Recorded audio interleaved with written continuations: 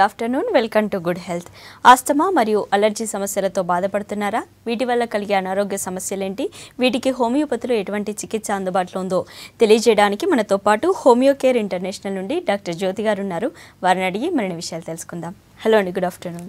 So asthma లక్షణాలు ఎలా ఉంటాయి? ఎక్కువగా ఆస్తమా ఎవరికి వచ్చే ఛాన్స్ ఉంది? ఆస్తమా యొక్క లక్షణాలు వచ్చేసి అంటే ఇది రావడానికి కారణం ఏంటంటే మన బాడీలో ఇమ్యూనిటీ అనేది తక్కువగా ఉంటే అలా వచ్చే అవకాశం ఉంటుంది అనమాట అయితే దీని యొక్క లక్షణాలు పిల్లి కూతలు అని అంటాం. పిల్లి కూతలు రావడం ఏంటి? శ్వాస తీసుకోవడం చాలా కష్టంగా ఉండడం ఏంటి? దెన్ దగ్గు ఇలాగు అంటే లక్షణాలు ఉంటాయన్నమాట. అంటే ఛాతీ అంత బరువుగా చెస్ట్ టైట్నెస్ అనేది కనిపిస్తూ ఉంటుంది. దీనికి అంటే శ్వాస తీసుకోవడానికి వాళ్ళు వెంటనే రిలీఫ్ గురించి అంటే డిఫరెంట్ డిఫరెంట్ మెథడ్స్ యూస్ చేసుకుంటూ ఉంటారు. బట్ హోమియోలో అయితే మన దానికి పర్మనెంట్ సొల్యూషన్ ఉంటుంది కాబట్టి అది ఆస్తమా విషయంలో ఎందుకంటే అది లైఫ్ లాంగ్ ఉండే ప్రాసెస్. దానికి చాలా హెల్ప్ఫుల్గా ఉంటుంది. రైట్. అంటే పొడి దగ్గు కొంతమందికి కంటిన్యూగా ఉంటుంది ఏ సీజన్ అయినా కూడా. సో పొడి దగ్గు ఉన్న వాళ్ళకి ఆస్తమా ఉంది అని అనుకోవచ్చా? లేదంటే ఫ్యూచర్లో వచ్చే ఛాన్స్ ఉంది అట్లా. ఇది లక్షణంగా తీసుకోవచ్చా? పొడి దగ్గు అనేది అంటే త్రోట్లో ఏదైనా ఇరిటేషన్ ఉంటే వస్తుందన్నమాట. త్రోట్లో అంటే అది మన బాడీ యొక్క రియాక్షన్ అని చెప్పొచ్చు. దేనికైనా. అంటే వెదర్ చేంజ్కి అవ్వచ్చు లేదా ఫుడ్ ఏదైనా పడనిది ఏదైనా ఫుడ్ తీసుకున్నాము దానివల్ల కూడా మనకు అంటే పొడి దగ్గు రావచ్చు. బట్ ఒకవేళ అది అలర్జీతో వచ్చింది అంటే కనుక దాని ఆస్తమాకి లీడ్ అయ్యే ఛాన్స్ ఉంటుంది. సో దాన్ని మనం అంటే పొడి దగ్గు ఉన్నప్పుడు కూడా కేర్ఫుల్గా మనం దానికి ట్రీట్మెంట్ ఇమీడియట్గా తీసుకోవాల్సి ఉంటుంది. రైట్ అంటే ఎక్కువ ఎవరికి వచ్చే ఛాన్స్ ఉంటుంది? అంటే ఏజ్ ఫ్యాక్టర్ ఏమైనా ఉంటుందా? పెద్దవాళ్ళలో మాత్రమే ఈ ప్రాబ్లం కనిపిస్తుందా? పిల్లల్లో కూడా కనిపిస్తుందా యూజువల్గా అంటే ఏజ్ రిలేషన్ ఏమి ఉండదమ్మా. కాకపోతే చిన్నపిల్లలలో ఇమ్యూనిటీ తక్కువ ఉంటుంది కాబట్టి ఈ ప్రాబ్లం మనం ఎక్కువగా చూస్తూ ఉంటాము. బట్ అంటే యూజువల్గా ఇది క్యారీ అవుతూ ఉంటుంది. చిన్నప్పుడు స్టార్ట్ అయిపోయి ఇంకా అది ఇయర్స్ టుగెదర్ పెద్దవాళ్ళు అయిన తర్వాత కూడా యూజువల్గా ట్వెల్వ్ ఇయర్స్ తర్వాత ఇమ్యూనిటీ పెరిగింది అంటే చాలా మందిలో మనం తేడా చూస్తాము. మెడిసిన్కి తొందరగా రియాక్ట్ అయ్యి హీల్ అయిపోవడం. కానీ కొంతమందిలో అది ఇంకా పర్సిస్టెంట్గా ఉండి ఓల్డ్ ఏజ్ వరకు కూడా అది ఉంటుంది అనమాట సో ఏజ్తో రిలేషన్ లేదు. ఒక్కొక్కసారి మనం చేసే వర్క్ ప్లేస్లో దాన్ని బట్టి కూడా ఉంటుంది ఆస్తమా అనేది. రైట్ అంటే చిన్న పిల్లలకి ఎక్కువ పిల్లి కూతలు చూస్తుంటాం మనం పిల్లల్లో. సో వీళ్ళకి ఆస్తమా ఉంది అనుకోవచ్చా. మరీ చిన్న పిల్లలకి అంటే మంత్స్ బేబీస్ కూడా ఈ పిల్లి కూతల ప్రాబ్లం ఉంటుంది కదా. సో ఆస్తమా ఉంటుంది అనుకోవచ్చా వీళ్ళకి? డెఫినెట్గా ఒక్కసారి మనం ఫ్యామిలీ హిస్టరీ కూడా తీసుకున్నామనంటే ఒకవేళ పేరెంట్స్కి ఆ ప్రాబ్లం ఉంది అని అంటే కనుక మనం అంటే సస్పెక్ట్ చేయాల్సిందే పిల్లలకు ఉంటుంది అని. అండ్ వెంటనే కనుక డయాగ్నోస్ చేసుకున్నామంటే మేబీ లెవెన్ ట్వెల్వ్ ఇయర్స్ వరకు వాళ్ళ పెరిగేంత వరకు మనం డెఫినెట్గా క్యూర్ చేసుకోవచ్చు. రైట్ సో ఎలాంటి డయాగ్న ఎలా డయాగ్నోస్ అవుతుంది? అస్తమా ఉంది అని. యూజువల్గా అంటే ఒక డాక్టర్ అంటే స్టెత్తో చేసుకోవచ్చు. బట్ అంటే అంటే మనకు పేషెంట్ యొక్క కంప్లైంట్ మనకు క్లియర్గా తెలిసిపోతుంది. ఇది ప్రాబ్లం ఉంటుంది అని. చెప్పాను కదా అంటే పిల్లి కూతలు ఉండడం ఏంటి కాఫ్ ఏంటి ఇవన్నీ ఉండడము. కాకపోతే ఏంటంటే దీనికి యూస్ చేసే మెడిసిన్స్తో కూడా కొన్ని అంటే సైడ్ ఎఫెక్ట్స్ అలా ఉంటాయి కాబట్టి అండ్ ఇది లాంగ్ రన్ ఉండే డిజీజ్ కాబట్టి యూజువల్గా పర్మనెంట్ సొల్యూషన్కి వెళ్తేనే మంచిది. అంటే టెంపరీ రిలీఫ్ కాకుండా. రైట్ సో కాంప్లికేషన్స్ ఏమొస్తాయి ఆస్తమా వల్ల ఎలాంటి హెల్త్ ఇష్యూస్ వస్తాయి? ఒక్కొక్కసారి ఆస్తమా అనేది అంటే చాలా డేంజరస్ అంటే లైఫ్ థ్రెటనింగ్గా కూడా ఉంటుందన్నమాట. ఎందుకనంటే ఇప్పుడు మీకు అంటే గాలి తీసుకోవడం చాలా ఎక్కువగా కష్టమైపోయి ఫేస్ లిప్స్ ఇదంతా కూడా పర్పుల్గా అంటే ఆక్సిజన్ సరిగా సప్లై లేకుండా లైఫ్ థ్రెటనింగ్గా ఉంటుంది. వాళ్ళని ఇమ్మీడియట్గా అంటే ఎమర్జెన్సీలో షిఫ్ట్ చేయడం అలా కూడా జరుగుతుంది. బట్ ఎప్పుడైతే మనకి లక్షణాలు కనిపిస్తూ ఉంటాయో కేర్లెస్ చేయకుండా ఇమ్మీడియట్గా ట్రీట్ చేసుకున్నామంటే మనకు లాభం ఉంటుంది. రైట్ అండి. కాల్డర్ ఉన్నారు మాట్లాడదాం. హలో హలో అండి నేను సనా కాప్రా నుంచి. చెప్పండి. ఇది weather irrespective of the weather outside కొంచెం ఫ్యాన్ ఎక్కువ వేసి పడుకుంటే ముక్కు దిబ్బడిగా ఉంటుంది అనమాట సో అదేమన్నా క్లినికల్ ప్రాబ్లమా or else is it natural for everybody లేదమ్మా. అంటే మన బాడీకి ఒక ఇమ్యూన్ సిస్టమ్ ఉంటుందన్నమాట.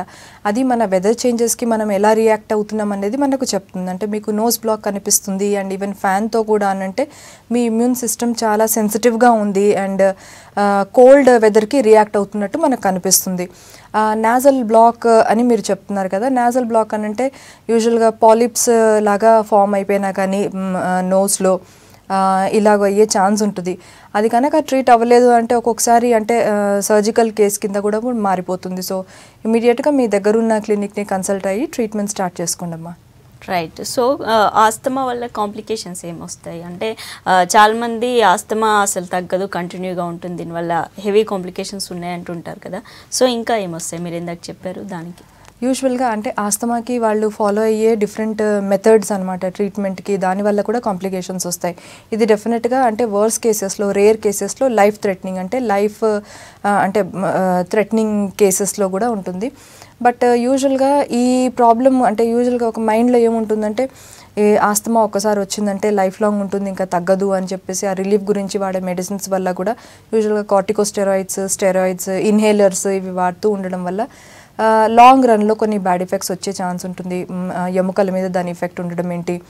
సో బట్ అదే హోమియోపతిలో మీరు తీసుకున్నారంటే దాని యొక్క బ్యాడ్ ఎఫెక్ట్స్ ఒకటి ఉండదు. అండ్ పర్మనెంట్గా కూడా మీకు క్యూర్ అయిన కేసెస్ చాలా కనిపిస్తాయి హోమియోపతిలో రైట్ సో ఆస్తమా వాళ్ళకి బ్రీతింగ్ ప్రాబ్లం ఉంటుంది కాబట్టి వీళ్ళు యోగా లేదంటే బ్రీతింగ్ ఎక్సర్సైజెస్ లాంటివి చేయొచ్చా వీళ్ళు? ఎప్పుడైతే ప్రాబ్లం ఉంటుందో అప్పుడు చేయడం కొంచెం డిఫికల్ట్గా ఉంటుంది కాబట్టి మేము యూజువల్గా అంటే హోమియోకేర్ ఇంటర్నేషనల్లో ఫస్ట్ అంటే ట్రీట్మెంట్ స్టార్ట్ చేసిన తర్వాత దెన్ అంటే లంగ్స్కి అంటే బ్రీదింగ్ ఎక్సర్సైజెస్ చెప్తామన్నమాట. అంటే ఒకసారి ప్రాబ్లం క్యూర్ అయిన తర్వాత మళ్ళీ లంగ్స్ని స్ట్రెంథన్ చేయడానికి ఎక్సర్సైజెస్ ఉంటాయి. రైట్ సో వీళ్ళకి సపరేట్గా డైట్ ఏమైనా ఫాలో అవ్వాల్సి ఉంటుందా? ఏ డైట్ ఫాలో అవ్వాలి వీళ్ళు? డెఫినెట్గా మనము అంటే ఇమ్యూనిటీ పెంచే డైట్ డెఫినెట్గా తీసుకోవాలి. అందులో వచ్చేసి మీకు ఫ్రెష్ వెజిటేబుల్స్ ఎక్కువగా యూజువల్గా అంటే ఈ ప్రాబ్లం వచ్చేది కూడా ఎవరికైతే ఇమ్యూన్ సిస్టమ్ ఎవరైతే వెజిటేబుల్స్ తక్కువ తింటారో దెన్ ఫ్రూట్స్ తక్కువ తీసుకుంటారో వాళ్ళల్లో ఈ ప్రాబ్లం ఎక్కువగా చూస్తామంటే త్వరగా రియాక్ట్ అవుతారని. సో ఎక్కువ వెజిటేబుల్స్ ఇంక్లూడ్ చేసుకోవడము ఫ్రెష్ వెజిటేబుల్స్ ఫ్రూట్స్ దెన్ నేను పాలు పెరుగు ఒకవేళ దానికి అలర్జీ లేకపోతే కనుక యూజువల్గా కొంతమందిలో ఆస్తమా వాళ్ళకి అలర్జీ అంటే పాల పాలకి గుడ్డుకి ఇలాగూ రియాక్ట్ అవుతూ ఉంటారు ఎగ్స్కి. సో అలా ఉంటే కనుక దాన్ని అవాయిడ్ చేయాలి. అండ్ చల్లని ఫుడ్స్ డెఫినెట్గా అవాయిడ్ చేయాల్సిందే. అండ్ స్పెషలీ కోల్డ్ వెదర్లో ఇలాంటి సీజన్లో కేర్ఫుల్గా ఉండాలి. రైట్ సో ఫ్యామిలీ హిస్టరీ ఉన్న వాళ్ళు ఎస్పెషల్లీ వీళ్ళు ఎలాంటి ప్రికాషన్స్ తీసుకోవాలంట? ఆస్తమా రాకుండా ఉండాలి అంటే ఎలాంటి జాగ్రత్తలు తీసుకోవాలి? డెఫినెట్గా యూజువల్గా అంటే కొన్ని సైంటిఫిక్ ప్రూఫ్స్ అంటే స్టడీస్ ఏం చెప్తాయంటే జీ ఒక జీన్స్లో పాస్ అయ్యే ఛాన్స్ ఉంటుంది ఆస్తమా అని చెప్తారనమాట సో ఎప్పుడైతే ఫ్యామిలీలో ఇది ఉంటుందో డెఫినెట్గా అంటే బ్రీదింగ్ ఎక్సర్సైజెస్ అండ్ డయట్ పట్ల కూడా కొంత కాన్సన్ట్రేషన్ చేసుకున్నామంటే కొంతవరకు మనము వ్యాధిని పోస్ట్పోన్ చేసుకోవచ్చేమో ఆర్ మేబీ అవాయిడ్ కూడా కంప్లీట్గా చేసుకోవచ్చేమో. బట్ ఇనీషియల్గా కొంత మెట్లు ఎక్కడము ఎక్కువ దూరం నడిచినప్పుడు ఆయాసంగా ఇలాగ అనిపించింది అంటే కనుక అంటే బ్లడ్ ఇన్వెస్టిగేషన్స్ చేసుకొని అండ్ దెన్ ఇమ్మీడియట్గా డాక్టర్ని కన్సల్ట్ అయ్యారంటే ఫర్దర్గా మనకు లేకుండా ఇమ్మీడియట్గా అంటే ఫస్ట్లోనే మనము ట్రీట్మెంట్ స్టార్ట్ చేసుకుంటే బెటర్. రైట్ అండి. కాలర్ ఉన్నారు మాట్లాడదాం. హలో మేడం నమస్తే మేడం. నమస్తే రవిశంకర్ గారు. చెప్పండి. మేడం ఏం లేదు మేడం. మా అబ్బాయికిను నాకు ఇద్దరికి వస్తాము మేడం. ఓకే. అంటే అంటే ఇది నాకు ఎలర్జీ ఏదో ఫుడ్ ఎలర్జీ నాకు దుమ్ము తెలుసుకొని వస్తుంది ఎక్కువ మేడం. మా అబ్బాయికి ఏదైనా ఫుడ్ వల్ల రావచ్చు మేడం అది. ఇంకా పర్ఫెక్ట్ ఏం తెలియదు అయితే మేడం ఒకటి హోమియో కేర్లో శాశ్వత పరిష్కారం ఉందా మేడం హోమియో మందులలో? ఉందండి డెఫినెట్గా ఉంది. అది అలర్జెన్స్ అనేది ఏదైనా అవ్వచ్చు. పాలెన్ అంటాము అంటే పూత పూసేటప్పుడు వచ్చే ఇది కానీ లేదా స్మోక్ కానీ డస్ట్ వల్ల వచ్చినట్టు మీకు వచ్చినట్టు లేదా ఫుడ్ వల్ల వచ్చే అలర్జీస్ వల్ల కూడా ప్రాబ్లం వస్తాయి. అంటే గాలి తీసుకోవడం అలర్జిక్ రియాక్షన్స్ వస్తాయి అనమాట అలర్జిక్ ఆస్తమా అంటారు దీన్ని. బట్ అంటే యూజువల్గా హోమియోపతిలో మెడిసిన్ అంటే um, కంప్లీట్ క్యూర్ ఉంటుంది. అదే మీకు అలోపతిలో ఏ ఫుడ్స్ అయితే ఏదైతే మీకు అలర్జన్గా కనిపిస్తుందో దాన్ని అవాయిడ్ చేయమని చెప్తారు. అది ప్రాక్టికల్గా కొన్ని రోజులు పాసిబుల్ ఏమో కానీ ఇప్పుడు సపోజ్ మనం డస్ట్ తీసుకున్నాం అనుకోండి డస్ట్ని మనం కంప్లీట్గా అవాయిడ్ చేయలేము అండ్ కొన్ని కొన్ని ఫుడ్స్ని అవాయిడ్ పర్మనెంట్గా చేయడం వల్ల దాని యొక్క డెఫిషియన్సీస్ మన బాడీలో ఉంటాయి. సో మనము అలాగన్నీ అవాయిడ్ చేసుకుంటూ వెళ్ళలేము. సో హోమియోపతిలో మీరు ఏమి తిన్నా కానీ మళ్ళీ అదే డస్ట్కి మీ మీరు ఎక్స్పోజ్ అయినా కానీ మీకు ప్రాబ్లం ఉండకుండా చేస్తుంది అనమాట దాన్ని మేము పర్మనెంట్ సొల్యూషన్ అంటాం. రైట్ సో ట్వెల్వ్ ఇయర్స్ అలా ఉండే ఆ ఏజ్ ఉండే పిల్లల్లో ఎక్కువ కనిపిస్తుంది ఆస్తమా. సో పర్టికులర్ రీజన్ ఏమైనా ఉందా పిల్లల్లో ఎక్కువ రావడానికి? అంటే అది గ్రోయింగ్ స్టేజ్ వాళ్ళు అంటే నార్మల్ స్టేజ్ నుంచి అడోలసెంట్ స్టేజ్కి వెళ్ళే. సో అక్కడ అంటే కొన్ని హార్మోనల్ చేంజెస్ అవి కూడా ఉంటాయి.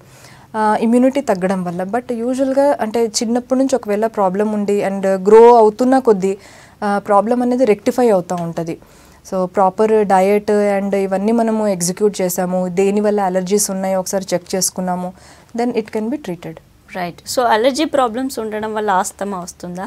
లేదా ఆస్తమా ఉన్న వాళ్ళకి అలర్జీ ప్రాబ్లమ్స్ వస్తాయా? డెఫినెట్గా అలర్జీస్ ఉన్నాయి అంటే ఆస్తమా డెఫినెట్గా వచ్చే ఛాన్స్ ఉంటుంది. అంటే వర్స్ కేసెస్లో అంటే uh, ఇని అలర్జీస్ అంటే అది ఎన్నో రకాలు ఉంటుంది. అప్పర్ రెస్పిరేటరీ ట్రాక్ ఇన్ఫెక్షన్ అంటారంటే దగ్గు తుమ్ములు కంటిన్యూస్గా రావడము uh, లేదా నోస్ బ్లాక్ అవ్వడము um, స్నీజింగ్ వాటరీ కళ్ళల్లో నీళ్ళు రావడము ముక్కులో నుంచి నీరు కారుతూ ఉండడము ఇవన్నీ అంటే అప్పర్ రెస్పిరేటరీ ట్రాక్ యొక్క సిమ్టమ్స్ అనమాట మనం కేర్లెస్ చేస్తున్న కొద్దీ అది మళ్ళీ లోవర్ రెస్పిరేటరీ ట్రాక్ ఇన్ఫెక్షన్ కింద మారొచ్చు. అది బ్రాంకైటిస్ ఆస్తమా కిందికి మారే ఛాన్స్ ఉంటుంది అనమాట సో ఇనీషియల్గానే మనము కేర్ఫుల్గా దాన్ని ట్రీట్ చేసుకున్నామంటే ఆస్తమా వరకు వెళ్ళకుండా అవాయిడ్ చేసుకోవచ్చు. రైట్ అండి కాలర్ ఉన్నారు. హలో హలో హలో మాలతి గారు చెప్పండి మీ ప్రాబ్లం ఏంటో చెప్పండి. హలో నేను హలో. మీరు టీవీ వాల్యూ మ్యూట్లో పెట్టి ఫోన్లో మాట్లాడండి క్లియర్గా ఉంటుంది. టీవీ డిస్టర్బెన్స్ వస్తుంది. Okay okay madam. చెప్పండి అమ్మా చెప్పండి ఇప్పుడు? చెప్పండి ప్రాబ్లం చెప్పండి. మా అమ్మగారికి ఇట్లా దమ్ములాగా వస్తుందండి ఊరికేనే. వెదర్ ఈ అసలు ఫుడ్ సంబంధించింది కాదు కానీ ఈ వెదర్ చేంజ్ అయినప్పుడు ఇట్లా దమ్ము. మ్మ్. బయటికి వెళ్ళడానికి కూడా ఉండదు. ఓకే. ప్రస్తుతం అంటే ఏజ్ ఎంతమ్మ తంది ఆమె సిక్స్టీ ఫైవ్ దాకా ఉంటది మేడం. ఓకే మరి ఏం అంటే మందులు ఏదైనా వాడుతున్నారా? మందులు వాడతారు అస్తమాకి కానీ ఇట్లాంటి వెదర్ వచ్చినప్పుడు బయటికి వెళ్ళడానికి ఉండదు. ఇంట్లోనే ఉండాల్సి వస్తుంది. ఓకే. దీనికి పర్మనెంట్గా సొల్యూషన్ ఉంటుందమ్మా. అంటే యూజువల్గా ఏం చేస్తూ ఉంటారంటే అప్పటికప్పుడు రిలీఫ్ గురించి మీరు మందులు వాడుతూ ఉంటారు కదా. దాంతో ఈ ప్రాబ్లమ్ అంటే కంప్లీట్గా సార్ట్ అవుట్ అవ్వదు. అండ్ ఏజ్ కూడా పెద్దది కాబట్టి అంటే డిఫికల్ట్గా ఉంటుంది. మీరు ఇమీడియట్గా మీ దగ్గర ఉన్న హోమియోకేర్ ఇంటర్నేషనల్ బ్రాంచ్లో అంటే కనుక కన్సల్ట్ అయ్యారు అంటే ఇమీడియట్గా మనము కేస్ హిస్టరీ తీసుకొని ట్రీట్మెంట్ స్టార్ట్ చేసుకోవచ్చు. రైట్ సో పిల్లలకి ఎక్కువ ఆస్తం వచ్చే ఛాన్స్ ఉంది కాబట్టి అంటే వీళ్ళకి హోమియోపతి మెడిసిన్స్ యూజ్ చేయొచ్చా? వీళ్ళు హోమియోపతి ట్రీట్మెంట్ తీసుకోవచ్చా అసలు? హోమియోపతి చాలా సేఫ్ అండి. అంటే చిన్న పిల్లలు అంటే అప్పుడే పుట్టిన న్యూ బోర్న్ చిల్డ్రన్ నుంచి కూడా పెద్ద వయసు ఉన్న వాళ్ళందరూ కూడా వాడుకోవచ్చు హోమియోపతి అనేది. ఎందుకంటే దీనివల్ల సైడ్ ఎఫెక్ట్స్ అనేది ఉండదు కాబట్టి అండ్ చాలా సేఫ్ కాబట్టి. అండ్ చిన్న పిల్లలలో ఇది ఇంకా చాలా యూస్ఫుల్గా ఉంటుంది. ఎందుకంటే మనము అంటే వాళ్ళు ఎదుగుతున్న కొద్దీ మేము వాళ్ళకి ఈ ప్రాబ్లం పర్మనెంట్గా క్యూర్ చేస్తాం కాబట్టి అది వాళ్ళకి చాలా హెల్ప్ఫుల్గా ఉంటుంది. రైట్ అండి. కాలర్ ఉన్నారు. Hello hello. అంజని మాట్లాడుతున్నా చెప్పండి అంజి గారు మీ ప్రాబ్లం చెప్పండి. బాబుకు హలో. ఒకసారి కొంచెం గట్టిగా చెప్పండి. బాబుకి ఇబ్బంది ఉంది మేడం. ఏంటండి? రైట్ ఓకే బాబుకి ఏంటి ప్రాబ్లం చెప్పండి. Madam. Right so allopathy treatment కానీ లేదంటే నాటు వైద్యం ఇట్లాంటివి రకరకాలుగా ట్రై చేస్తుంటారు ఆస్తమా ఉన్నవాళ్ళు. సో uh, హోమియోపతికి మళ్ళీ కన్వర్ట్ అవ్వచ్చా? హోమియోపతి మెడిసిన్స్ వీటితో పాటు వాడచ్చా?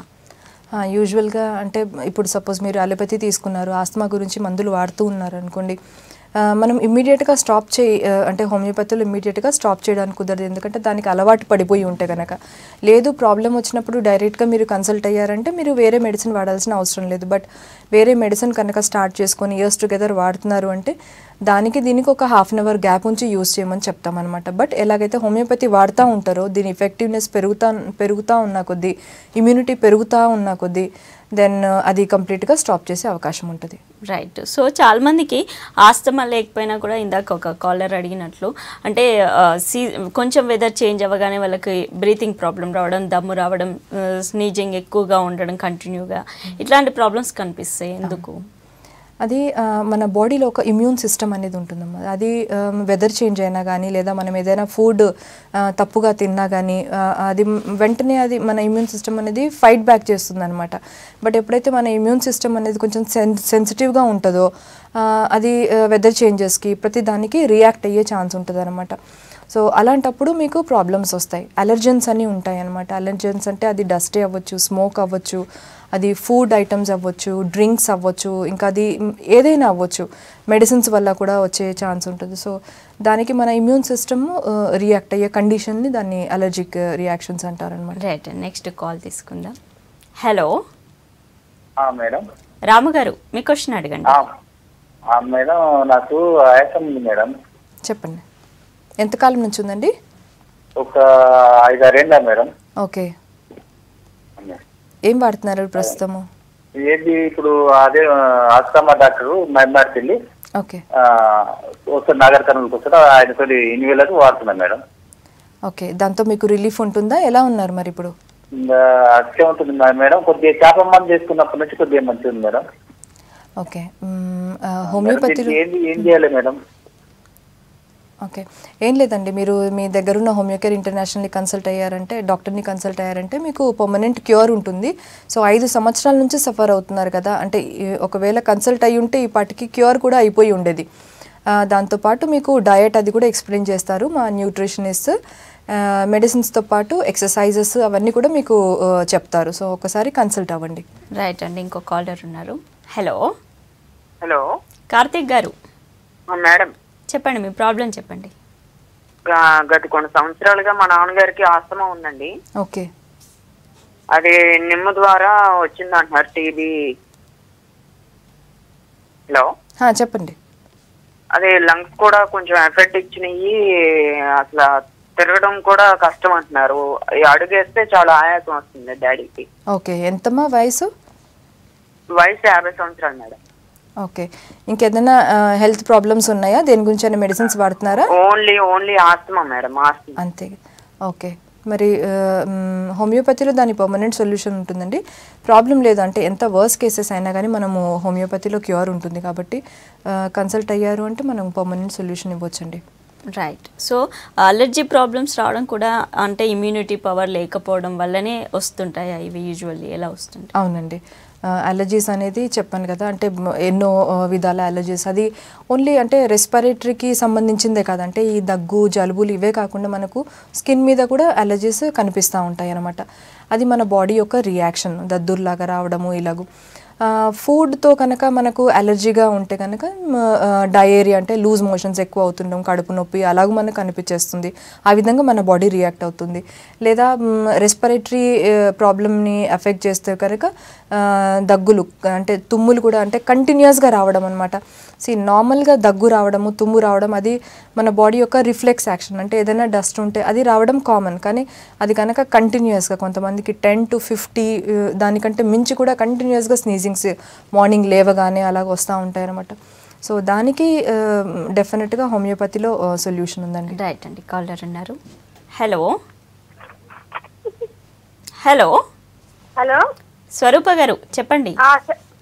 మాది మ- బాబుకి ముక్కు ప్రాబ్లం ఉంటుందండి. ఏంటమ్మా ప్రాబ్లం? ముక్కు ప్రాబ్లం ఉంటుందండి. నోట్లోకి వెళ్ళి శ్వాస ఇస్తాడు ఓకే. నోరంతా మూసే ఉంటుంది తెరిసే ఉంటుంది. తెరిచే ఉంటుంది. ముక్కులోకి వెళ్ళి తీయడు గాలి. ఓకే. అంటే నాజల్ బ్లాక్ అంటే నో నోస్లో పాలిప్స్ అనేవి ఉంటాయి అన్నమాట అవి మనకు ప్రొటెక్టివ్గా యాక్ట్ చేస్తాయి. అంటే ఏదైనా డస్ట్ అది రాకుండా ఫిల్టర్ చేయడము అలాగే చే వాటికే ఒక్కొక్కసారి ఇన్ఫ్లమేషన్ వచ్చి అది బ్లాక్ చేసేస్తాయి అనమాట గాలి తీసుకోవడానికి కష్టంగా ఉంటుంది. ఇది అప్పర్ రెస్పిరేటరీ ట్రాక్ ఇన్ఫెక్షన్. యూజువల్గా దీనికి ఏం చేస్తారంటే కొంతమంది అంటే వర్స్ కండిషన్లో నాజల్ డ్రాప్స్ అలా యూస్ చేస్తూ అక్కడికి క్యూర్ అవ్వకపోతే దెన్ సర్జరీతో కరెక్షన్ చేస్తూ ఉంటారనమాట బట్ uh, హోమియోపతిలో దానికి అంటే ఇప్పుడు uh, uh, అంటే వేరే ట్రీట్మెంట్స్కి దీనికి తేడా ఎలా ఉంటుందంటే ఏదైనా ఆర్గన్ సరిగా పని చేయట్లేదు అని అంటే హోమియోపతిలో అది సరిగ్గా పని చేసేలా చూస్తుంది కాబట్టి అది పర్మనెంట్ పర్మనెంట్గా ఉంటుందన్నమాట సొల్యూషన్ మీకు. అప్పటికి టెంపరీ రిలీఫ్ కాదు. సో తనకి పాపకి నాజల్ బ్లాక్ అని చెప్తున్నారు కాబట్టి కంప్లీట్గా క్యూర్ అయిపోతుందండి. అదే ఇది అప్పర్ రెస్పిరేటరీ ట్రాక్ ఇన్ఫెక్షన్స్ కనుక చిన్నవిగా ట్రీట్ చేస్తూ అది కనుక క్యూర్ అవ్వలేదు అని అంటే దెన్ అది నెమ్మదిగా లోవర్ రెస్పిరేటరీ ట్రాక్ ఇన్ఫెక్షన్ కిందికి మారిపోతుంది. అంటే లంగ్స్ని అఫెక్ట్ చేసే ప్రాబ్లమ్స్ బ్రాంకైటిస్ అంటే ఆస్తమా కిందికి ఫ్యూచర్లో మారే ఛాన్స్ ఉంటుంది. రైట్ సో చిన్నపిల్లలు ఎక్కువ ఈ ప్రాబ్లం కనిపిస్తుంది. సేమ్ టైం ఎలర్జీ ప్రాబ్లమ్స్ ఎక్కువ వీళ్ళకి. కంటిన్యూగా తుమ్ములు రావడం కోల్డ్ అవ్వడం ఊరికూరికే. ఇట్లాంటి ప్రాబ్లమ్స్ ఎక్కువ కనిపిస్తాయి. సో వీళ్ళకి ఆ, అంటే ఇవి రావడానికి రీజన్స్ ఏంటి? మళ్ళీ తొందరగా ఆ, లక్షణాలు మనం గుర్తించే గుర్తించగలుగుతామా? లేదంటే పిల్లలకి అలాగే వస్తుందిలే అని చెప్పి నెగ్లెక్ట్ చేస్తుంటారు కొంతమంది. సో ఇలా చెయ్యొచ్చా సి డెఫినెట్గా నెగ్లెక్ట్ చేయకూడదు ఎప్పుడైతే అంటే యూజువల్గా పిల్లలకు వస్తుంది అంటే ఫస్ట్ మనకు పేరెంట్స్కి ప్రాబ్లం ఉంటే కనుక డెఫినెట్గా చిల్డ్రన్లో వచ్చే అవకాశం ఉంటుంది. Uh, ఎప్పుడైతే అంటే ఎలా మనం కలు కనుక్కోవచ్చు? అంటే ఊరికూరికే ఫీవర్ రావడము లేకపోతే దగ్గు తుమ్ములు ఇవి కంటిన్యూస్గా రావడము స్కూల్స్ బంక్ చేయడము అంటే ఇర్రెగ్యులారిటీ స్కూల్లో కనిపించింది అంటేనే మనకు తెలిసిపోతుంది uh, అంటే పేషెంట్ ఇమ్యూనిటీ లెవెల్స్ అక్కడ. సో దానికి హోమియోపతిలో without any side effects treatment బాగుంటుందమ్మా. Right caller ఉన్నారు మాట్లాడదాం. హలో హలో రాధిక గారు. మేడం నాకు సైనస్ ప్రాబ్లం ఉంది మేడం. బాగా కళ్ళలోకి నీళ్ళు వస్తాయి. ఓకే హలో చెప్పండమ్మా ఆ, మేడం. మీరు ఫోన్లో చెప్పండి మీ ప్రాబ్లం టీవీలో చూస్తూ మాట్లాడద్దు. బాగా తుమ్ములు వస్తాయి బ్రీతింగ్ ప్రాబ్లం ఉంది. ఇంగ్లీష్ మెడిసిన్ వాడుతున్నా. ఓకే రైట్ సో అది ప్రాబ్లం సైనస్ ప్రాబ్లం అని చెప్తారు. యా um, అంటే యూజువల్గా సైనస్ని డయాగ్నోస్ చేయడానికి మనము ఎక్స్రే అది తీసుకోవాల్సి ఉంటుంది అనమాట తను చెప్పే కంప్లైంట్స్ని బట్టి తనకు అలర్జిక్ రైనటిస్గా కనిపిస్తుంది. అంటే తుమ్ములు కంటిన్యూస్గా రావడం ఏంటి వాటరీ ఐస్ ఇవన్నీ కూడా అలర్జిక్ రైనటిస్ అంటాం అనమాట ఇది కూడా సమ్ అలర్జిక్ రియాక్షన్స్ అది ఏదైనా అవ్వచ్చు.